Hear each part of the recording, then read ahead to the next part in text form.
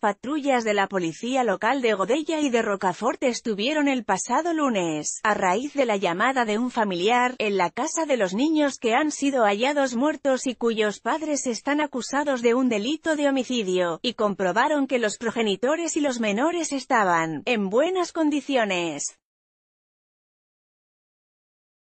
Así lo ha explicado el Ayuntamiento de Godella en un comunicado, en el que precisa que en febrero de 2016 los servicios sociales intervinieron por un conflicto de convivencia vecinal a petición del juzgado número 2 de Paterna, que ese mismo año se archivó tras constatar que habían abandonado el municipio.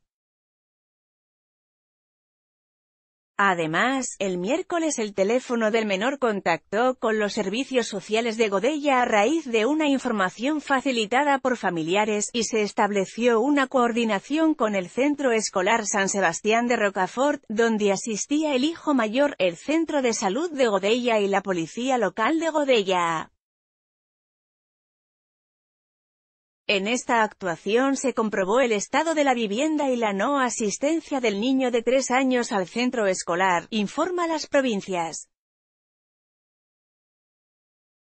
Gabriel y María junto a sus dos hijos, encontrados muertos en Godella, Valencia. Según indican, el jueves la policía local de Godella recibió una llamada de la policía local de Rocafort informando sobre un servicio de emergencia recibido a través del 112 que se estaba produciendo en la cercanía de la vivienda ocupada por esta familia, y se personaron allí para colaborar con el dispositivo.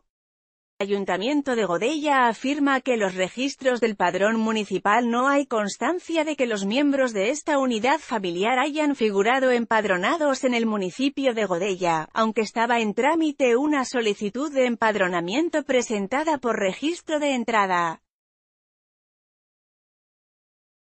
El consistorio se ha puesto a disposición de la familia, ha agradecido las muestras de apoyo, colaboración y solidaridad que se han recibido, y ha pedido sensibilidad y discreción.